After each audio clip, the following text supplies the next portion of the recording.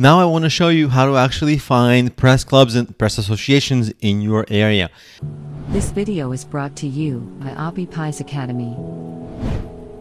All you have to do is basically search for, new, like in my case, let's say I'm in New York, so I'm going to search press New York Press Club meetings, or I don't have to do the word meetings.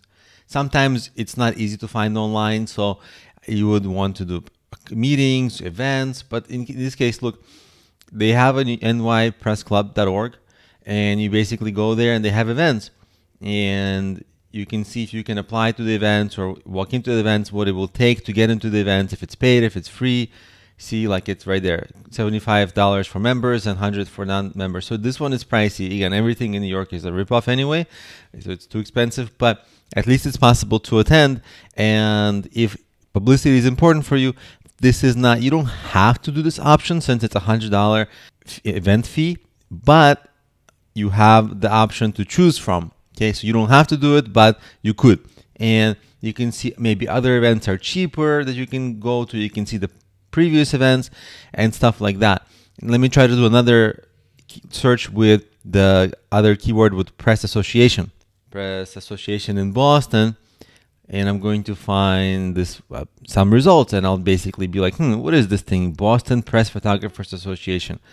Hmm, interesting. I'm gonna go there. You know, I, I can click that, but that, before I do that, there's New England's Women's Press Association. Interesting. That's a Wikipedia, but okay.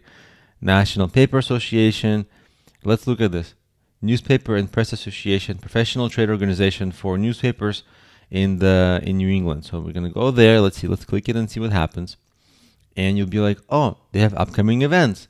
And maybe you can, maybe it's a fit for you, maybe it's not a fit for you. If it's not a fit, that's fine. But if it is a fit, oh my God, that's an amazing place. In one room, you'll have so many journalists who can either publish stories about you directly or refer you to others who can publish stories about you or what you're doing.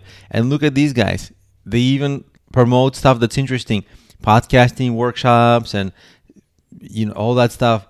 Newspaper conference so registration is open. It's a newspaper conference so surely it's going to be paid but if it's not too expensive then you can go and meet at many many many journalists that a conference usually goes on for like a day or two or three. So you can meet a lot of journalists and spend a few days and make sure you don't lose your relationship don't lose contact with them. And you can if you have something worthwhile you are promoting then of course they can give you a lot of exposure. So I made this video to show you how easy it is to find press associations and press clubs in your area.